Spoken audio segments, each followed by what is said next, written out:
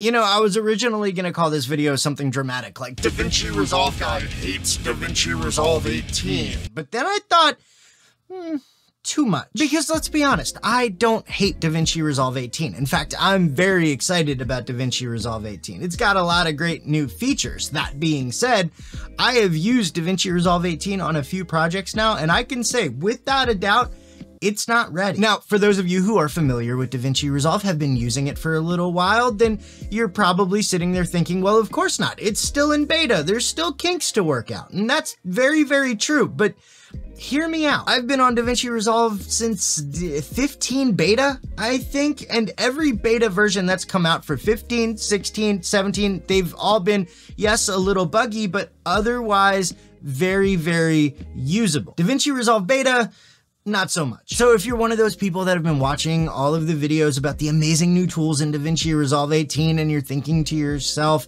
I need to get on this now, here are a few reasons why you might want to wait. Oh, and let me know in the comments, what bugs have you experienced in DaVinci Resolve 18? Let's start a conversation. First of all, render cache. In fact, most of all, render cache. I don't know what happened between DaVinci Resolve 17 and DaVinci Resolve 18 beta, but render cache is just straight up broken. Let me explain. I usually set my timeline or my projects to smart render cache. That way anything that I put into the timeline that DaVinci Resolve says, hey, this is going to take a little bit extra power to process. It's going to go ahead and render that for me so I can have smooth playback. And in DaVinci Resolve 17, it was great. It was a total lifesaver, especially on some of my more heavy fusion compositions, some of the effects that I was using.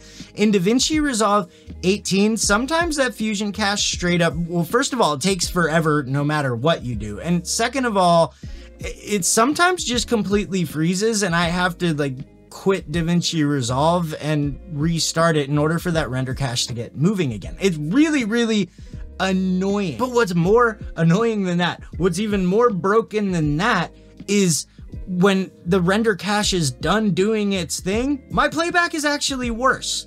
I don't know why. That's like the opposite of what's supposed to happen. So somebody, if you know what's going on, please let me know because I've gone over all of my project settings. I've looked at everything. Everything is up to date. I, I don't understand it. Now let's talk about project settings, more specifically project presets. I use a lot of project presets for the different types of projects that I work on. I've got one for my YouTube videos. I've got one for, you know, the more common freelance work that I do. I've just, I've got a lot of presets and it used to be that you go into your project settings, you click on a preset, you hit load, and then you get out of project settings, and now your project is set to whatever the preset was. It was simple. It was easy. It worked every single time. That That's broken now.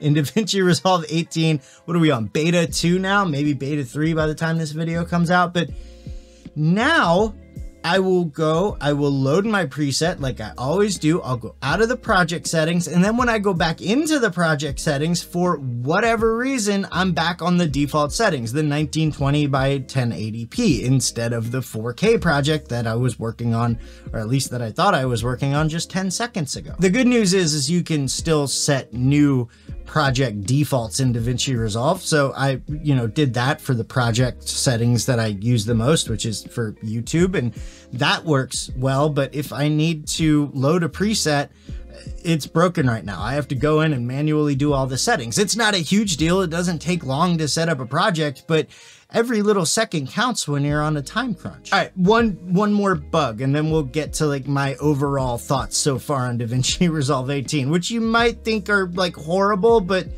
just stick around. Master timelines. If you don't know what a master timeline is, it's basically a timeline that has every single video clip and image and whatever you have in your media pool is just put into this big master timeline. And you can do things like color grade, add effects, and all that stuff to these clips. And then when you take those files and you cut them up in your main project timeline, all of the color grades or whatever you did to that footage in the master timeline is automatically applied to the smaller clips in your project timeline. It's great.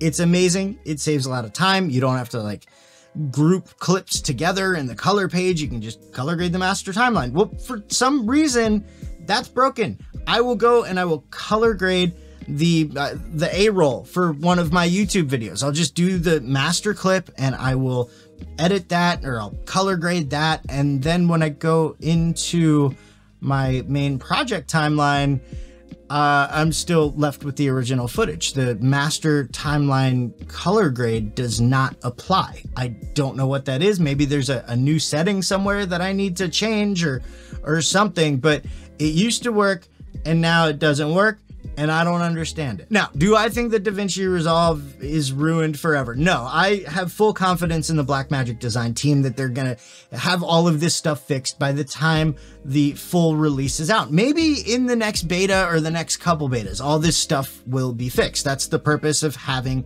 a beta. By the way, Blackmagic Design, thank you for making it clear that you're using beta software and not pretending that you're releasing a very, very buggy full release like some other companies that we know. That being said, I think right now you should probably hold off on switching over to DaVinci Resolve 18, especially if you need it for time sensitive or professional work. Unless, of course, you have a secondary machine that you can put DaVinci Resolve 18 on to play around with, and then you've still got your main machine with DaVinci Resolve 17 in order to do that time sensitive or professional work. Thanks for watching.